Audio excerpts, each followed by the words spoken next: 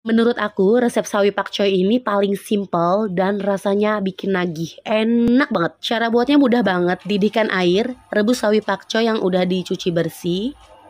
Rebusnya selama satu menit aja. Setelah itu angkat dan tiriskan. Panaskan sedikit minyak, tumis bawang putih yang udah dicincang halus sampai kecoklatan. Lalu kita tumis lagi cabai merah, tambahkan 300 ml air, kasih 1 sendok teh saus tiram, kecap asin, minyak wijen, ada lada, dan kaldu bubuk. Udah aduk-aduk, tambahkan maizena yang udah dilarutkan. Dari tadi asik masak sampai lupa kasih tahu kalau kompor yang aku gunakan dari Oxon, tipenya OX640OB. Dia portable, jadi enak banget bisa dibawa ke mana-mana. Untuk lebih jelasnya lagi, kalian bisa langsung kunjungi di akun resminya. Tinggal kita guyur kuahnya ke sawi pakcoy yang tadi udah direbus. Wah, simple banget ya. Lalu atasnya taburi dengan bawang putih tadi yang udah digoreng. Dah jadi, ini enak banget. Nggak kalah rasanya dengan tumisan restoran.